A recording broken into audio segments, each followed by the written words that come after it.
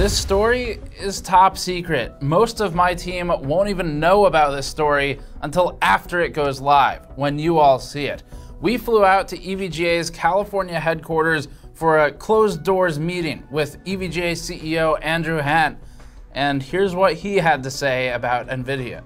We are not going to be on NVIDIA CEO Jensen's lap on stage.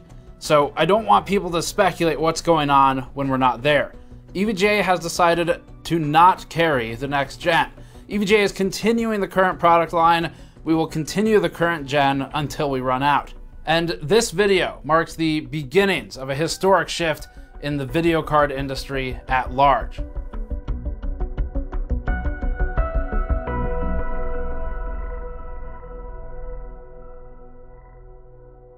Before that, this video is brought to you by the HYTE Y60. The HYTE Y60 is one of the most unique cases to launch anytime recently, coming in multiple color options like this bright red, and it's also built for both water cooling and air cooling. The case pays extreme attention to detail, particularly with cable management paths like you can see with the quality rubber grommets that are always passed through, and with split lower and upper chambers. Learn more at the link in the description below. NVIDIA comprises 80% of EVGA's revenue, so this change could mark the beginnings of a long and drawn out demise for the company if it doesn't navigate these next few months carefully. It could also mark, however, the beginnings of something new, a less stressful and more mobile organization where they're freed from the binds of their encumbering partner, NVIDIA. EVGA's CEO felt restrained by NVIDIA. I commented to him that this decision must be hard for you. And he said, This, this is easy working with NVIDIA was hard. Strong words for NVIDIA. We'd hope, though, for the sake of EVGA's employees, that the decision might have been a little bit harder. But it didn't stop there. The company wouldn't even entertain the idea of working with Intel or AMD when we asked. And we pushed the point. And after asking repeatedly why EVGA wouldn't make someone else's board, we asked the obvious. Does EVGA intend to return to NVIDIA for the 50 series? No. They're done, Han said, and they're done with all video cards while he remains CEO. Existing customers will continue to get support, and EVGA is withholding some boards as RMA replacements and for warranties. But once they sell through inventory this year, that's it. No more EVGA video cards. Uh, EVGA has made a lot of cards over the years, so this is a big change. They built their company on the back of cards like these for decades now. And as for Intel and AMD as potential partners, that's a different story entirely. Let's start with the relevant facts from our information gathering before we get to the fascinating part of the story that describes the downfall of the relationship as it was torn asunder between NVIDIA and EVGA. Starting with those facts. EVGA will cease all production of manufacturing for video cards. Existing customers will remain supported, EVGA tells us, by EVGA's warranties, by its normal processes. So that remains in place. EVGA has withheld some inventory as well. This is intended to help it hold over as it might need to replace cards that get lost in the mail, get damaged, need replacements, or have defects where uh, they need to resolve it somehow for the customer. They're keeping some back and not selling them for those purposes. Next one, they're expecting to run out of the 30 series by the end of this year. EVGA is staying in business, at least for now. This is one of the points. They made it very clear to us that they're financially sound and stable and have no intent of going out of business. Uh, and it, it, will trigger a downsizing, but at least as of today, EVGA is staying in business. EVGA is not selling its business, and it actually has very strong convictions against that. So that's not something you need to worry about either necessarily, but it's something we're going to talk about more later as well. Now, also interesting here, EVGA is not expanding into more product categories. So even though it's not selling the business and it is killing its video card arm of the business, which again is 80% of the revenue, even though the profit is smaller uh, overall, the lack of expansion is a little concerning because it means there's a lot of employees who will not have a thing to do anymore. Now, uh, NVIDIA was notified of EVGA's decision to stop making video cards back in April, but only the absolute upper echelon of management is aware of this decision. So a lot of NVIDIA's staff will be finding out when this video goes up. Another point from the information gathering stages where this was all conducted with EVGA CEO. This is as first party as it gets, not rumors. Uh, EVGA has thus far not entertained the idea of working with Intel or AMD. We talked with them about this at great length for over an hour in that conversation, and uh, there was just no interest from EVGA CEO. However, we really do think there's an opportunity there and they should be exploring it. But as of now, that's what they told us. Uh, EVGA, again, finished making EVT samples of the 40 series cards. They will not be selling them though. The reason we're bringing this up is because if you see photos leak online of EVGA RTX 4090s, then it's because they made some. I can't say a lot more than that because that product is under NDA. Uh, but they made some and they're not going to be selling them. If you see a leak, though, it's an engineering sample. It doesn't mean that this video is invalid. This decision is very real. It came from the CEO. Uh, EVGA claims that employees will be reallocated to other departments of EVGA, and realistically, there is going to be some kind of mass exodus because it's just impossible to take. There's about 280 people there right now worldwide, as we understand it. They've already laid off 20% of their Taiwan workforce a couple months ago, and it's just not possible to get rid of that much of your business and be able to give everyone a new job within the company. It's not that big of a company, and some people will be left without a job function. And although EVGA CEO says that he will take care of his team and keep paying them to some extent, we believe that. Realistically, if people don't have a thing to do, even if they're okay accepting charity for a while, at some point they're going to go, I would like to do something now for the money, thank you, and leave and go somewhere else. So, for instance, people like Kingpin, or Vince Lucido, who's on the overclocking team and is a marketing machine for EVGA, will no longer be able to do the job he was hired to do. And that's going to be true for a lot of other people on the team as well. So there will likely be some departures. There is going to be some attrition, uh, even though EVGA intends to support its staff. And finally, EVGA's belief is that NVIDIA has screwed it over, basically. So this is where we're going to approach it in sort of a neutral uh, or objective way because some of the stuff from EVGA first party doesn't quite make sense. Uh, but also, we've heard many of these things about NVIDIA in the past, and they align with things that we know uh, for NVIDIA's treatment of partners. So there's some truth, and there's also some flavor from EVGA because they were the ones controlling the dissemination of the information for this. So let's talk about EVGA's side of the story. We asked, why would you walk away from NVIDIA? And the answer was that it's about respect. In talking to EVGA, the company told us point blank this is not a financial decision, it is a principled decision. EVGA and competing board partners have told us nearly every launch that they don't find out basics about the very product they're partnered to sell, like the MSRP, until NVIDIA's CEO is on stage. We're told this is true even for cost to buy the chip. NVIDIA apparently only gives placeholder cost for some GPUs like flagships until the MSRP is revealed publicly. It's hard to run a business when you don't even know what the cost of your product is that you're imminently launching. We've learned that NVIDIA has both a floor and a ceiling for card prices on some cards, so only flagships for the ceiling, with board partners restricted from selling flagship models above a certain cost.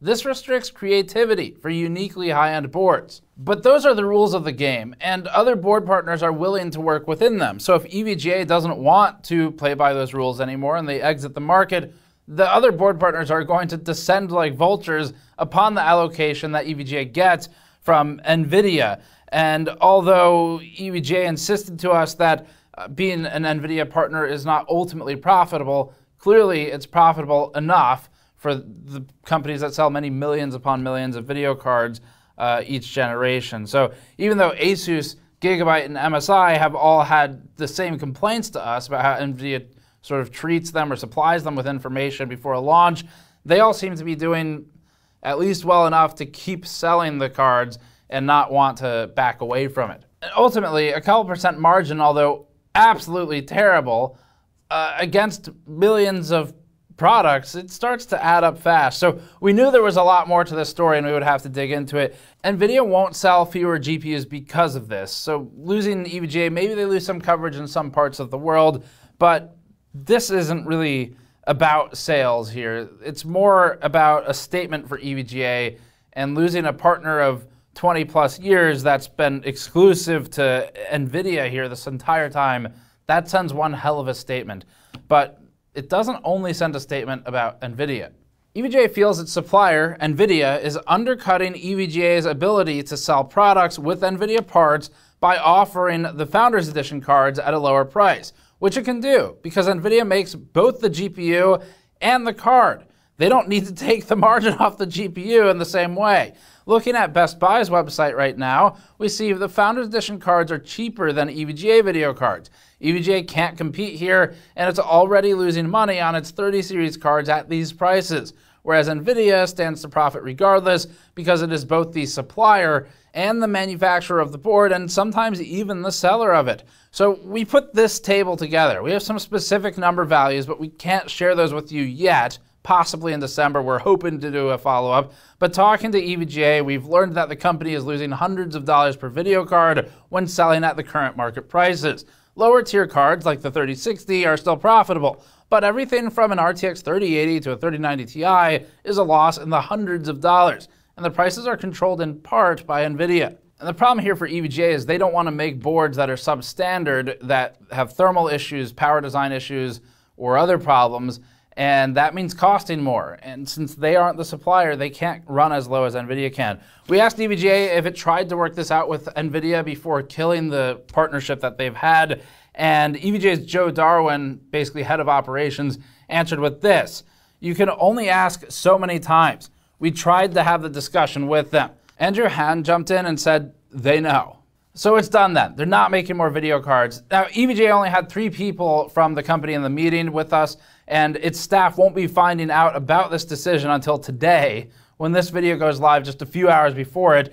And so, as interesting as the story is about EVGA and NVIDIA, uh, the one thing we were worried about here, maybe more immediately, is what happens to EVGA's people as a result of this decision. Trying to figure out what happens next for the staff at EVGA, we started asking about the revenue numbers. About 78% of EVGA's gross revenue comes from video cards right now, today. About 20% comes from power supplies. About 2%, the remainder, comes from miscellaneous things. So that'd be motherboards, the E1, coolers, things of that nature. And EVGA's CEO claims that the power supply margin, profit margin, for its power supplies is 300% higher than the profit margin for its GPUs or its video cards. So that's how you end up with the company that has 78% of its revenue, but a really comparatively small portion of its profit coming from one division. Uh, and it's also how you end up in the conundrum EVGA is now in, where it will no longer have sufficient revenue or work, more importantly, it's really the work that matters more, to sustain 280 people, most of whom work on video cards, when there will no longer be video cards being manufactured at the company. So I asked if there would be layoffs, and EVGA's Joe Darwin jumped in and said, We're not going to lay anyone off. And that was the direct quote. He noted that they expect some attrition, or basically some bleed of employees as they are informed of this news likely today and start deciding if they still want to work on the projects that they, well, if they still want to work there now that their projects are dead, basically. And we also know that they already had layoffs a few months ago in the Taiwan office. So a lot of EVGA staff is only there for GPUs, and the numbers just don't make sense. Where EVGA will not need all the PCB engineers who worked in the video card department to move over to power supplies, even though they're trying to create roles for them there. There's only so many power supply PCB designers you need, and the skills might not always line up. Additionally, the support staff won't have as many customers to support after this year. And even starting now, the amount of people who call in for help, it's going to go down. And the support staff, sure, you could retrain them on power supplies, but you only need so many people supporting power supplies, especially if you're not trying to grow that division of the business. Further still, logistics, warehousing, and sales staff will now not be managing video card inventory anymore. Those jobs they're not going to stay. There's nothing for them to do. So it, it's a reality of this business where those roles will get cut if they don't have work. And EVGA, sure, the CEO says he will pay uh, and support his staff and try to keep them all employed, and that is fantastic and admirable and, and sort of the right thing to do. But they also can't pay on charity and lose money because then everyone will lose their jobs. So at some point, they either need to rely on attrition where people just depart, or they're going to have to really work on retraining and distributing people throughout the company and growing new business sectors uh, because sustaining will not be enough. So, anyway, our next question was what about Vince? EVGA relocated its resident overclocking expert and marketing machine, Vince Kingpin Lucido, to Taiwan about 10 years ago now. He's done well here, but he's entirely focused on overclocking and mostly GPUs and getting EVGA's name to the top of all of the charts. Without GPUs and with motherboards functionally dead in the water at EVGA, Vince will have little to do. EVGA CEO Andrew Han's answer was I think Vince has his own plan. And my answer to that was you should check with them because I'm not so sure about that. I just spoken to him recently. Uh, so that's for them to work out. But Han says he will take care of his people. We do believe he'll take care of at least a couple of the core people who've been at the company forever. Um, it, it will just come down to is there a provision of interesting work or is it just pay for sake of loyalty, which is, again, admirable. That's really a great thing to do that you don't have to, and not many companies would do it. But normally people do want meaningful work to go along with that. So it just depends on how they work that out. So earlier we said that EVGA made some conflicting statements. What we've tried to make clear to really everyone in the industry, but especially in this situation, EVGA, is that our job is to be as in the middle as possible and try to understand NVIDIA's perspective and EVGA's perspective. We're not the EVGA PR machine to just try and tell their story. And so, looking at the story, we did find quite a few holes in it as it was developing. They started to congeal and, and re- reclose as we got through more details, but we'll get to that. So, EVGA's complaints about NVIDIA, we think, are valid. So, uh, complaints about not receiving information prior to Jensen Huang getting on stage and announcing the parts, that's a little ridiculous and uh, it is a problem. So that is a, absolutely a valid complaint. Now, similarly, EVGA is not free of fault itself over these last couple of generations. Uh, the company, we think, is probably over ordering during mining booms, especially, and uh, it gets burned when that demand dries up and it evaporates in a heartbeat, as you all know, literally days ago, maybe even one day ago, when this video went up, Ethereum went off of proof of work and like that, there's GPU supply again for really cheap. And that hurts companies like EVGA who have new inventory they want to sell as they compete with things half the price on eBay, and a lot of them. So EVGA insists that it is solvent, that it has strong financial footing, and that it has liquidity that it has built up over the last year or so during this really high demand period where it's been able to sell everything it makes up until now. It also emphasized it has no debts and it owns its buildings, which is a great place to be in. But they got burned like this in the RTX 20 series as well. And this seems to be history repeating itself, where EVGA with the 20 series lost a lot of money, in, in six digits at least, for the 20 series towards the end of it. And it's like that again now, where there's oversupply of a previous generation, leading to a trigger of losses on sales towards the end of the generation's lifespan. Probably over the span of the 30 series, it was in demand for so long, it sounds like they did well. it sounds like they're still okay. They've got liquidity, they have cash, but it's these last few months of the 30 series where whatever is left that they're selling at a loss that's going to start chewing away at the profit they've been trying to bank for years now.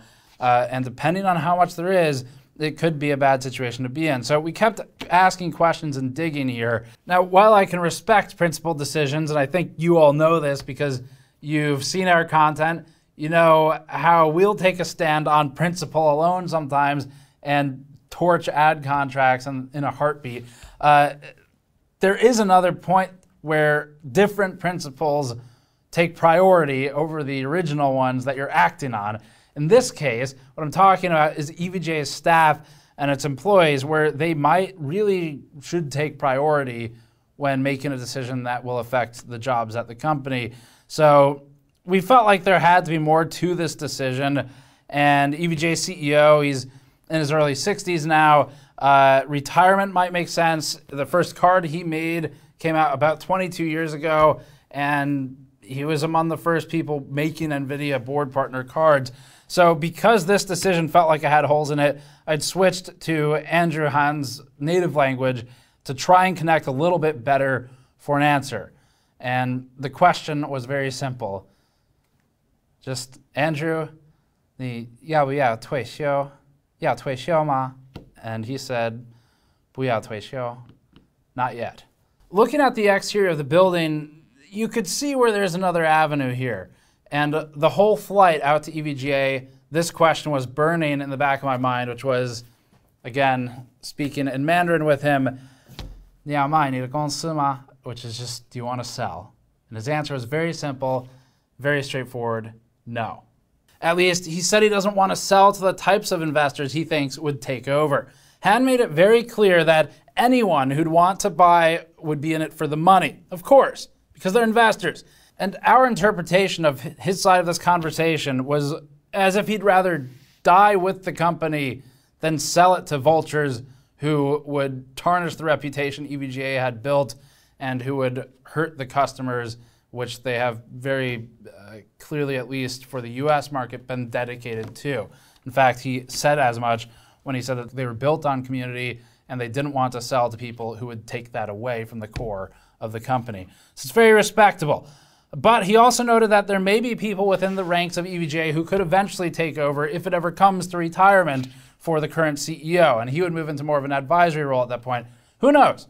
It could be that if that happens in some years, someone internally takes over and decides, I am willing to deal with the time it takes to deal with NVIDIA's bullshit, uh, or AMD's or Intel's, they all do it, uh, and I'm willing to put video cards back on the map for EVGA. Time will tell, we're not there yet. For now, though, Andrew Han doesn't want to retire, although we eventually learned that there's another reason for the termination of this partnership with NVIDIA, and it's family. Andrew Han told us that he's been running the company for decades now. He wants to spend more time with his family at this point, and uh, he uh, feels that NVIDIA's lack of appreciation of his company's work is no longer worth the time that NVIDIA requires to participate in launching of its GPUs. So that, when we finally got to that answer, it made a lot more sense because up until then, purely numerically, financially, potentially even ethically at some level for the other employees, it was difficult for us to understand the decision at the core. But with this information, it became clear that it's more of a personal decision. It's not just a personal uh, principle or some kind of vendetta against NVIDIA. It's also a desire for time in life outside of the GPU industry. And EVGA uh, has told us in the past that it feels NVIDIA is vindictive, and that's coming from the number one partner. How this decision ripples through the rest of the partners remains to be seen. As for AMD and Intel, when we pressed for over an hour on the topic of whether EVGA would partner with AMD or Intel, we were met with a confusing answer. EVGA told us about how apparently NVIDIA has fought it over its overclocking products and high end products and made it difficult for EVGA to be creative with what they want to make. They've also told us how they've been yelled at at press functions for allowing the press, that's us, to film certain things because NVIDIA didn't fully control those things at the time. In spite of all these bad experiences, EVGA still has no plans to work with AMD or Intel. And uh, the reasoning, again, was, was confusing and contradictory, probably ultimately because there was some personal decision making fueling it. But one of the statements made was, quote, because of the partnership, at least I don't betray them, talking about NVIDIA. Obviously, everyone in the room, it's me, Jay, and John Petty, uh, looked at Andrew Han and said, but it seems like you think they betrayed you, so who cares? We made the point that Intel needs a strong and competent board partner right now, and that EVGA could add disproportionate value with its experience to Intel's endeavors. The response was, quote, that's Intel's problem. Actually, GPU business is a good business. NVIDIA has a good product. So as of now, EVGA doesn't want to work with Intel. That could change if the right people at Intel reach out to EVGA and can get through to them. But the longer EVGA stays out of the video card market, the more their relevance will fade. If they come back in four years and say, we're ready to go again, that value is not going to be the same as it is right now. Right now, AMD or Intel would kill to have EVGA working with them on products, and EVGA could demand better pricing and a higher margin because of their position. But that's going to go away if they don't move fast. Uh, so EVGA has some strong points here, kind of wrapping up things. You know, by all accounts from board partners, NVIDIA is on the overbearing side at times. And NVIDIA has kind of moved towards a closed ecosystem, but it's not there yet. We could see evidence maybe of NVIDIA wanting to do an Apple-like approach where it's the only provider of its GPUs. It sells them in Founders Editions. That's the only model. But they're lacking a lot of the localization, the logistics globally, the control of the supply chain to make that possible today. We spoke with someone from NVIDIA and uh, basically asked for some flavor as to how does Jensen Huang and NVIDIA, how do they think and operate? This was the quote we got. Jensen likes well-integrated and fully controlled vertical solutions. He'll ask, why are these guys, the board partners, making money when they're not doing much? NVIDIA's problem is it doesn't control the supply chain like Apple does. They can lose money on a board where Apple won't. Apple is run by a supply chain guy with other supply chain staff living in Taiwan and China doing nothing but sourcing.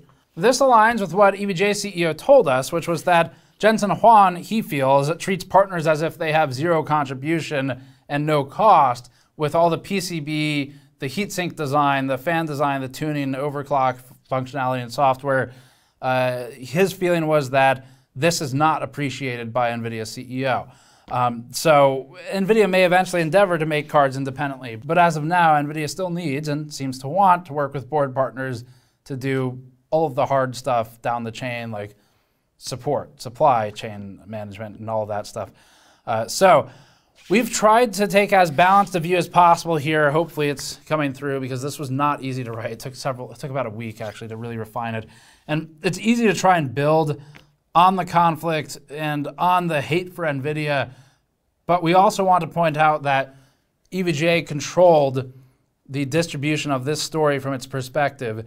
And so that's why we tried to tried to take it as neutrally as possible. We could see both sides a little bit. By and large, there's evidence to support that NVIDIA acts in a very controlling fashion with its partners. Probably NVIDIA's defense would be yeah, but they'd screw it up, or do you see all the leaks that happen, or something like that. So certainly there's a defense. We do see a little more on the partner side for that aspect of things, though, where you know, they, they deserve respect for cooling the GPUs that NVIDIA is making right now. That's not easy. That's a lot of work, and it's really expensive. It deserves respect. It's not like they're just doing nothing, uh, adding no value, and making money off of NVIDIA's hard work it, it goes both ways. Both parties are putting in a lot of hard work. So anyway, EVGA's CEO, we spoke to him, and you know, we do think they made some questionable purchasing decisions over the last two generations, so they're not fully clean of fault um, for perhaps some of the stress that they felt, and I think they recognize that. But his, the CEO said that he feels relief and as if sort of a weight has been lifted, uh, and so we can respect the principal decisions there. The Personal reasoning also makes sense. I worry about the staff a little bit. Um, most companies would appoint someone to head up growth elsewhere if the CEO doesn't wish to. You don't have to kick them out. It's a private company, but they would normally appoint someone. So EVGA now needs to prove itself. This either is the beginning of the end for the company and it's only going to get worse, or they will now be completely unbound from these apparently caustic ties that have been restraining their innovation for however long. So uh, it's up to them to prove what happens next. And that is all for this report. Thank you for watching and for supporting our independent coverage. and our efforts to fly around and get this stuff properly reported. We pay for all of our own flights, hotels, and everything else to do these trips and, uh, and collect the information for you. So you can support us at store.gamersnexus.net by grabbing a modmat, coaster pack, or more, or go to patreon.com slash gamersnexus. Thank you for watching. We'll see you all next time.